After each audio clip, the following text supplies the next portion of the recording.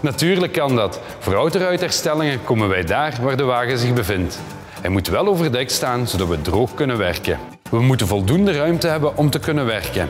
Zorg er dus voor dat de voorportieren van de wagen minstens drie kwart open kunnen.